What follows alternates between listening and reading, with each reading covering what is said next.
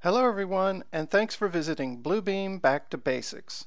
Today we'll be talking about digital dashboards. For those of you I have not met personally, you can reach me at that phone number and email address and we encourage you to visit our website where you can learn all about our Bluebeam training program. A lot of people are intimidated by creating a Bluebeam digital dashboard.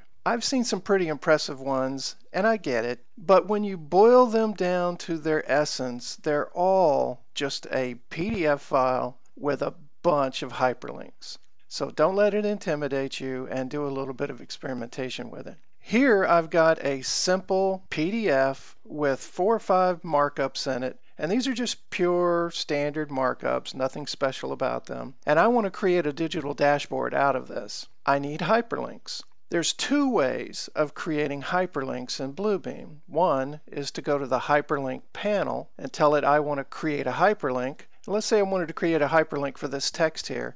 I could just click and draw where I want my hyperlink to be and then I would tell it what kind of hyperlink. Am I going to a web page? Do I want to open a specific file or a specific folder full of files? Do I want to jump to another page, place, space, or snapshot view within the current or other open document. There's a whole ton of options. I'm just going to use a web page for now. I'm just going to paste in my corporate web page and hit OK. So now this PDF file, notice my cursor right now looks like the pan hand with the magnifying glass icon. But when I move into that general direction, you see how the cursor turns into a hand with a with the forefinger ready to click on it. And if I do that, it will go and open a web tab and it'll open that browser. Now the other way of creating hyperlinks or other type of actions is to select a markup, right click, and choose Edit Action. It's the same menu. You've got the same options. So I would use the same hyperlink and hit OK. Here's the difference.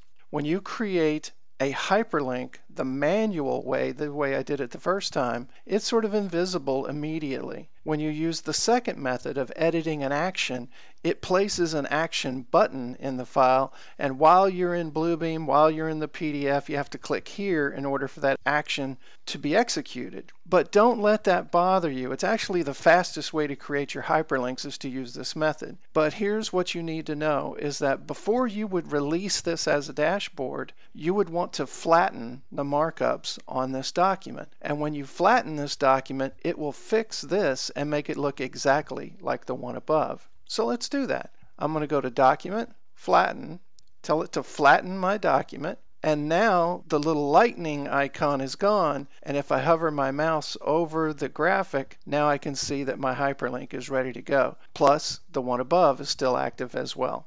So it's not very difficult at all, and you've got all kinds of different options to create a digital dashboard. Now here's an example of one that I did that has a whole bunch of different hyperlinks in it. And this is what I could have done. This is just a standard apartment complex layout. And what I could have done is just using hyperlinks. I could have gone in and every single apartment, I could have created a hyperlink opening that file. So if I click on 5301, it just goes out and it opens the 5301 file and it's right there. I've got my floor plan. I could do the same thing with 5101 or 5201. And I could have a single apartment complex layout with hundreds of hyperlinks to just click there, go get that file. And that would be great. That would be all a lot of people would need. I decided to go a different route and I decided to put hyperlinks on the building indicators like building 7 will take me to building 7 and then from there I can click on any one of the apartments and go to that particular drawing. Or I can go to the title of each page and that'll take me back to the home page. So I can go to building 8 and go back. I can go to building 4